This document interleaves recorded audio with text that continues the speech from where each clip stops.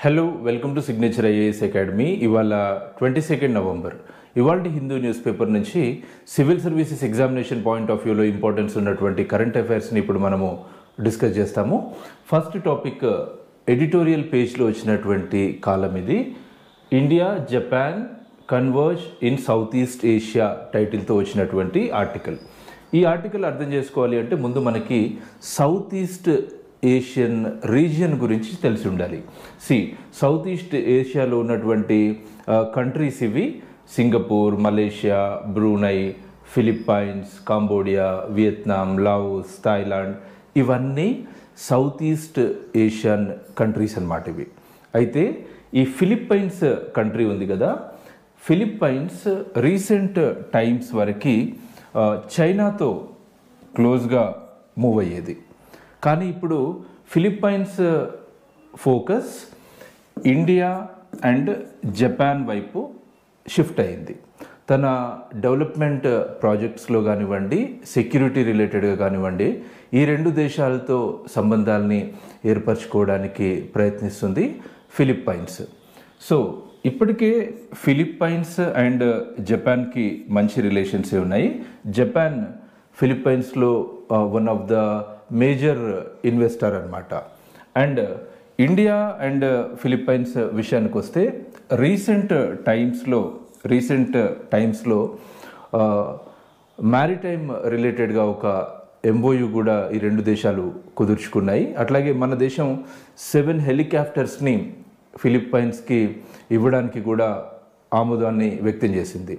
అంటే Japan and ఫిలిప్పైన్స్కి relations ఉన్నాయి అట్లాగే ఫిలిప్పైన్స్ అండ్ ఇండియా మధ్యన కూడా ఈ మధ్యన రిలేషన్స్ బలపడుతున్నాయి. మరొక వైపు ఇండియా అండ్ జపాన్ ఈ రెండు దేశాల మధ్యన కూడా మంచి బయలిటరల్ రిలేషన్స్ ఉన్నాయి. For example India and Japan quad అనేటువంటి ఒక ఫోరంలో మెంబర్స్ రెండు కూడా. ఆ తర్వాత రెండు దేశాలు మిలిటరీ ఎక్సర్సైజెస్లో పార్టిసిపేట్ చేస్తాయి. ఆ తర్వాత రెండు దేశాలకి మధ్యన two plus two ministerial dialogues ఉన్నాయి.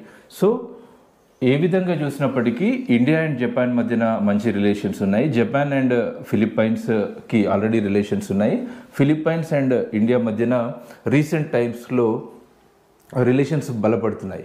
ఇలాంటి టైంలో ఫిలిప్పైన్స్ ఫిలిప్పైన్స్ ఒక రిలయబుల్ రీజనల్ పవర్స్తో క్లోజ్గా మూవ్ అవ్వడానికి ప్రయత్నిస్తుంది. ఆ రిలయబుల్ పవర్సే ఇండియా అండ్ జపాన్.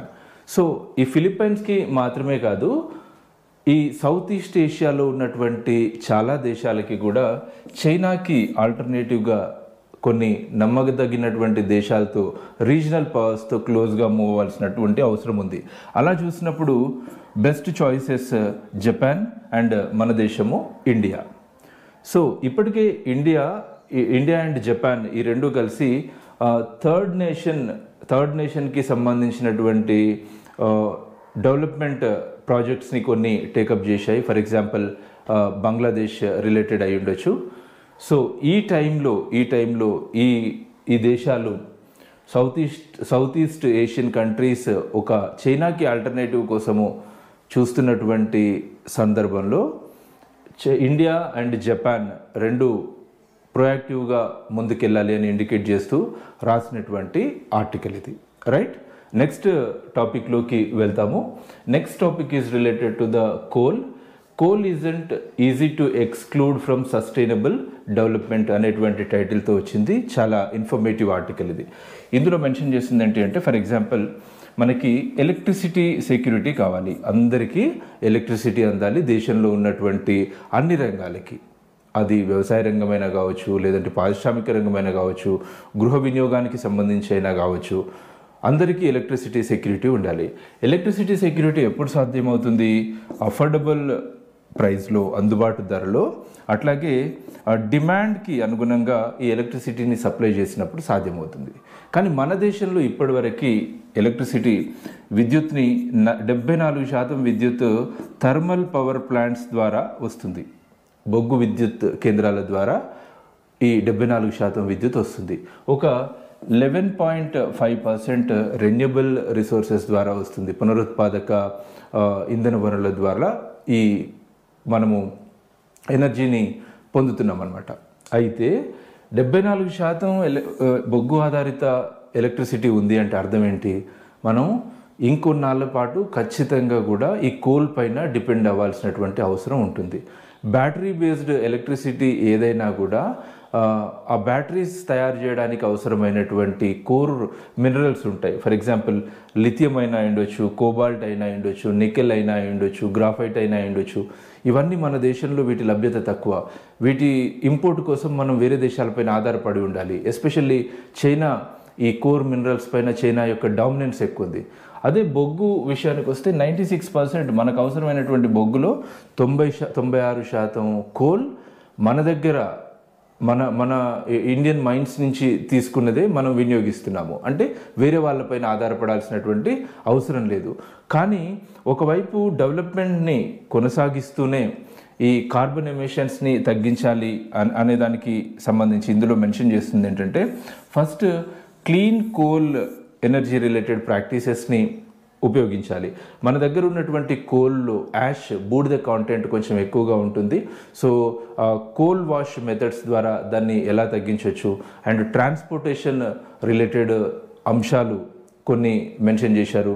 సో మొత్తానికి ఇందులో చెప్తుంది ఏంటి అంటే మనం కోల్ పైన డిపెండ్ అవ్వడం అన్నది ఇంకొన్ని సంవత్సరాల పాటు తప్పనిసరి.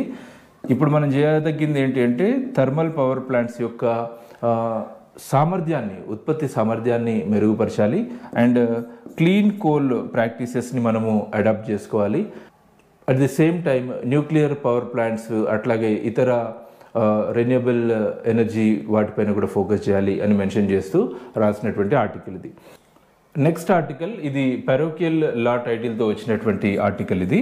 Very simple Haryana government Haryana government twenty ట్వంటీలో ఒక లా తీసుకొచ్చింది. ఈ లా ఏంటి అంటే ప్రైవేట్ సెక్టార్లో ప్రభుత్వ రంగంలో కాదు ప్రైవేట్ రంగంలో ముప్పై వేల శాలరీ కంటే తక్కువగా ఉండేటువంటి అన్ని ఉద్యోగాలలో డెబ్బై ఐదు శాతం ఉద్యోగాలన్నింటిలో డెబ్బై ఐదు శాతం ఉద్యోగాలు స్థానికులకే ఇవ్వాలి అని మెన్షన్ చేస్తూ ఒక యాక్ట్ తీసుకొచ్చింది. దీన్ని Punjab Haryana high court Punjab Haryana high court ఈ లాని కొట్టేసింది. ఎందుకంటే ఇది రాజ్యాంగంలో ఉన్నటువంటి ఆర్టికల్ పద్నాలుగు ఆర్టికల్ పంతొమ్మిదికి విరుద్ధంగా ఉంది అని ఈ ఆర్టికల్ని ఈ లాని హైకోర్టు కొట్టేసిందనమాట. అయితే దీన్ని బేస్ చేసుకొని ఎడిటోరియల్లో మెన్షన్ చేస్తుంది ఏంటి అంటే ఫస్ట్ ఈ లాస్ ఎందుకు తీసుకొస్తున్నారు స్థానికులకే ఉద్యోగాలని? ఎందుకు తీసుకొస్తున్నారంటే స్థానికంగా ఉన్నటువంటి వ్యక్తుల్లో మైగ్రెంట్ లేబర్ వేరే దగ్గర నుంచి వచ్చినటువంటి వలస కార్మికులు తమ ఉద్యోగాల్ని ఎత్తుకెళ్ళిపోతున్నారు అనేటువంటి ఒక ఆవేదన బాధ ఉంటున్నాయి. సో ఆ ఆవేదన బాధ ఎందుకు వ్యక్తమవుతున్నాయి అంటే మైగ్రెంట్ లేబర్స్ చాలా తక్కువ డబ్బులతో ఎక్కువ గంటలు పనిచేపిస్తుంటారు ఎవరైతే ఎంప్లాయర్ ఉంటారో వాళ్ళు. రైట్? సో వీళ్ళు మైగ్రెంట్ లేబర్ని కూడా వీళ్ళు ఎక్స్ప్లాయిట్ చేస్తున్నారు. అయితే ఈ ఎడిటోరియల్లో మెన్షన్ చేసింది ఏంటంటే ఆంధ్రప్రదేశ్లో కూడా ఇలాంటి లా తీసుకొచ్చారు. ఇప్పుడు అది జ్యుడిషియల్ స్క్రూటనీలో ఉంది. అయితే ఇలా ప్రొటెక్షనిజం కాదు. ఇలా ప్రొటెక్షనిజం కాకుండా చేయాల్సింది ఏంటి అంటే ఫస్ట్ లేబర్కి లేబర్కి యాజ్ పర్ ద లా సరైన వర్కింగ్ కండిషన్స్ని ఏర్పాటు చేయాలి. అట్లాగే సరైన రెమ్యునరేషన్ ఇవ్వాలి. ఒక లెవెల్ ప్లేయింగ్ ఫీల్డ్ ఏర్పాటు చేయాలి. అంతేగాని ఇలాంటి ప్రొటెక్టివ్ మెజర్స్ అనేవి మొత్తం మన నేషనల్ గ్రోత్ని దెబ్బతీస్తాయి. ఒక అడ్డుగోడలుగా మిగిలిపోతాయి రాష్ట్రాల మధ్యన అని మెన్షన్ చేస్తూ రాసినటువంటి ఆర్టికల్ ఇది. రైట్ నెక్స్ట్ టాపిక్లోకి వెళ్తాము. Recognizing the impact of climate change on health so వాతావరణంలో ఉన్నటువంటి మార్పులు క్లైమేట్ చేంజ్ యొక్క మార్పులు క్లైమేట్ చేంజెస్కి సంబంధించినటువంటి అంశాలు హ్యూమన్ హెల్త్ పైన ఏ విధంగా ఎఫెక్ట్ చూపిస్తాయి? ఏ విధంగా ఎఫెక్ట్ చూపిస్తాయి అంటే డైరెక్ట్ ఎఫెక్ట్ ఉంటుంది ఇండైరెక్ట్ ఎఫెక్ట్ ఉంటుంది. డైరెక్ట్ ఎఫెక్ట్ అంటే ఏంటి? ఒక పర్సన్ సిక్ అవ్వడం అనారోగ్యానికి గురవడం లేదంటే ఆ పర్సన్ చనిపోవడం ఇలా జరుగుతుంది. ఇండైరెక్ట్ ఏంటి? ఈ క్లైమేట్ చేంజెస్ కారణంగా వాతావరణంలో వచ్చేటువంటి మార్పుల కారణంగా ఎక్కువ గంటలు పని చేయలేకపోవచ్చు. అంతే కదా బాగా పొల్యూషన్కి గురైనటువంటి వ్యక్తి సమర్థవంతంగా పూర్తి సమర్థంతో పని చేయగలుగుతాడా? పని చేయలేడు. సో డైరెక్ట్ ఇంపాక్ట్స్ ఉంటుంది అండ్ ఇండైరెక్ట్ ఇంపాక్ట్ కూడా ఉంటుంది ఈ క్లైమేట్ చేంజ్ కారణంగా. అండ్ రాబోయే రోజుల్లో ఇవి ఇంకా పెరుగుతాయి. ఎందుకంటే ఫ్లడ్స్ రీసెంట్ టైమ్స్లో వస్తున్నాయి. ఇవి కూడా పెరిగేటువంటి అవకాశం ఉంది. ఆ తర్వాత సైక్లోన్స్ తుఫాన్లు పెరిగేటువంటి అవకాశం ఉంటుంది హీట్ వేవ్స్ ఇవన్నీ పెరుగుతాయి. ఇవన్నీ కూడా ఆహార భద్రతకి ముప్పు కలిగిస్తాయి జీవన ఉపాధి తగ్గుతుంది. ఆ తర్వాత ఇవన్నింటి కాన్సిక్వెన్సెస్ కారణంగా ఆరోగ్యం పైన కూడా వీటిపైన ప్ర వీటికి సంబంధించినటువంటి ప్రతికూల ప్రభావం ఉంటుంది అని మెన్షన్ చేస్తూ రాసినటువంటి ఆర్టికల్. ఎస్పెషల్లీ అర్బన్ ఏరియాస్లో ఈ పర్యావరణ మార్పులకి సంబంధించినటువంటి ప్రభావం ప్రతికూల ప్రభావం అర్బన్ ఏరియాస్లో ఎక్కువ. సో వీటిని ఎదుర్కొనే విధంగా వీటిని ఫేస్ చేసే విధంగా రీజనల్ లెవెల్లో ఆ తర్వాత గ్లోబల్ లెవెల్లో లోకల్ లెవెల్లో వివిధ చర్యలు అవసరం అవుతాయి అని మెన్షన్ చేస్తూ రాసినటువంటి ఆర్టికల్. నెక్స్ట్ టాపిక్లోకి వెళ్తున్నాము. అలామింగ్ కౌంట్ డౌన్ ఇది ఇది కూడా క్లైమేట్ చేంజెస్కి సంబంధించినటువంటి ఆర్టికల్ గ్లోబల్ వార్మింగ్కి సంబంధించినటువంటి ఆర్టికల్. రీసెంట్గా UNEP United Nations Environment Programme ఒక రిపోర్ట్ని రిలీజ్ చేసింది. ఆ రిపోర్ట్ టైటిల్ ఏంటి అంటే బ్రోకెన్ రికార్డ్ అనేటువంటి టైటిల్తో వచ్చింది. Emissions gap report twenty twenty three. దీన్ని యుఎన్ఈపి రిలీజ్ చేసింది. దీన్ని బేస్ చేసుకొని రాసినటువంటి ఎడిటోరియల్ ఇది. సో దీంట్లో బ్రాడ్గా చెప్పాలి అంటే గ్రీన్ హౌస్ గ్యాస్ ఎమిషన్స్ని తగ్గించాలి. ఈ గ్లోబల్ వార్మింగ్ని ఎలాగైనా కట్టడి చేయాలి. ఎస్పెషల్లీ డెవలప్డ్ నేషన్స్ చాలా ఇనిషియేటివ్స్ తీసుకోవాల్సి ఉంది. ఈ developed nations wealthy nations initiative తీసుకోవాల్సినటువంటి రెస్పాన్సిబిలిటీ ఉంది. ఎక్కువగా కార్బన్ ఎమిషన్స్కి కారణం కర్బన ఉద్గారాలకి సంబంధించినటువంటి కారణమైనటువంటి దేశాలు కూడా అవే అని మెన్షన్ చేస్తూ రాసినటువంటి ఆర్టికల్ ఇది. నెక్స్ట్ నెక్స్ట్ టాపిక్లోకి వెళ్తాము. Next topic the OECD report on climate finance అనే టైటిల్తో వచ్చింది. రీసెంట్గా ఓఈసిడి ఒక రిపోర్ట్ ఇచ్చింది. ఓఈసిడి అంటే మనకు తెలిసి ఉండాలి. Organisation for economic cooperation and development. Organisation for economic cooperation and development. ఇది వెల్తీ నేషన్స్కి సంబంధించి సంపన్న దేశాలకి సంబంధించి like USA UK Germany France Switzerland ఇట్లాంటి దేశాలకి సంబంధించినటువంటి ఒక కూటమి. సో ఇది ఇచ్చినటువంటి రిపోర్ట్ ప్రకారము క్లైమేట్ ఫినాన్స్ క్లైమేట్ ఫినాన్స్ రిలేటెడ్గా సంపన్న దేశాలు ప్రతి సంవత్సరం ఒక వంద బిలియన్ డాలర్స్ని ఫండ్స్ని సమకూర్చాల్సి ఉంది. సో దట్ డెవలపింగ్ కంట్రీస్ అభివృద్ధి చెందుతున్నటువంటి దేశాలు ఈ క్లైమేట్ చేంజ్కి ఎగెనెస్ట్గా ఫైట్ చేయడానికి ఈ ఈ రిసోర్సెస్ని వాడుకుంటాయి. కానీ రీసెంట్గా ట్వంటీ ట్వంటీ వన్లో ఈ హండ్రెడ్ బిలియన్ డాలర్స్లో వీటి టార్గెట్ మిస్ అయింది. అరౌండ్ ఎయిటీ నైన్ పర్సెంట్ మాత్రమే అరేంజ్ చేయగలిగాయి. సో ఇలా ఒరిజినల్ టార్గెట్ కంటే తక్కువ ఫండ్స్ రేజ్ చేశారు. ప్రైవేట్ ఇన్వెస్ట్మెంట్ చాలా తక్కువగా ఉంది. పబ్లిక్ ఇన్వెస్ట్మెంట్కి సంబంధించినటువంటి అవసరం చాలా ఉంది అని మెన్షన్ చేస్తూ రాసినటువంటి ఆర్టికల్ ఇది. రైట్ సింపుల్గా మీరు గుర్తుంచుకోవాల్సింది ఓఈసీడీ ఓఈసీడీ గ్రూప్ ఏంటి?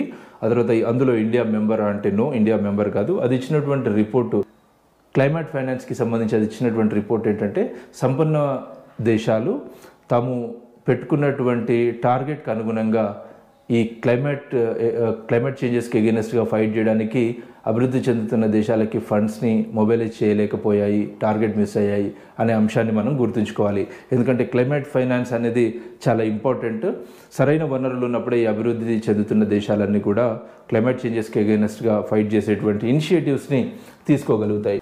Next article SC calls for collaborative efforts to bring children into the adoption pool అనేటువంటి టైటిల్తో వచ్చింది.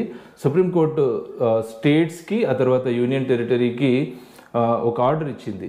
దేంటి అంటే ఒక బై మంత్లీ డ్రైవ్ కండక్ట్ చేయాలి states and union territories and ఇలా కండక్ట్ చేసినప్పుడు ఆర్పన్స్ అట్లాగే uh, సరెండర్డ్ చిల్డ్రన్ ఎవరైతే ఉన్నారో ఈ చైల్డ్ కేర్ ఇన్స్టిట్యూషన్స్లో ఉన్నారో వాళ్ళ పేరెంట్స్ కనుక ఒక వన్ ఇయర్ నుంచి విజిట్ చేయకపోయినా తర్వాత అన్ఫిట్ పేరెంట్స్ ఉన్నప్పటికీ అన గార్డియన్స్ సరిగ్గా లేకపోయినా ఇలాంటి వాళ్ళందరికీ సంబంధించి ఒక డ్రైవ్ కండక్ట్ చేసి వాళ్ళని వాళ్ళని అడాప్షన్ పూల్లోకి తీసుకురావాలి అనేది సుప్రీంకోర్టు ఇచ్చినటువంటి డైరెక్షన్స్ ఇది వాళ్ళ Hindu news paper explanation next day మళ్ళీ కలుద్దాం. Thank you